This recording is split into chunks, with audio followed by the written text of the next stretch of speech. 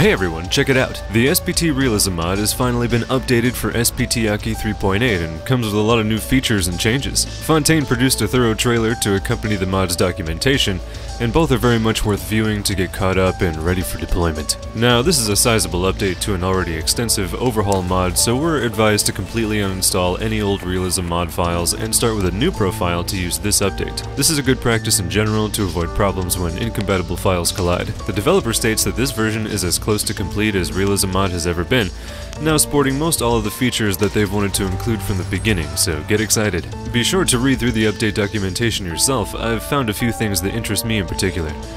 Provisions will now have stacking durations of recovery, no longer instantly restoring energy and hydration, and overhaul to firearm chambering and ammunition handling, now showing the ammunition presently in the chamber and even requiring the player to manually charge an empty one. And the ballistic system was entirely reworked to be compatible with the changes made to Live Tarkov, improving the mechanics of gunfire against armor and hit zones. As you can imagine, I was already making a video with the test version of Realism Mod and was both excited and intimidated by this 1.0 release.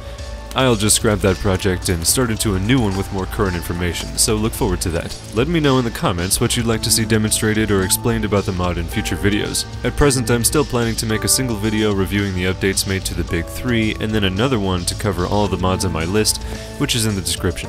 Find us on the Club Starvox Discord server for more on my experiences with SPT Aki. I'll definitely be doing a lot of testing and recording as I familiarize myself with the all-new Realism mod. You can support us using the Patreon link in the description, liking, and subscribing. Thanks for watching.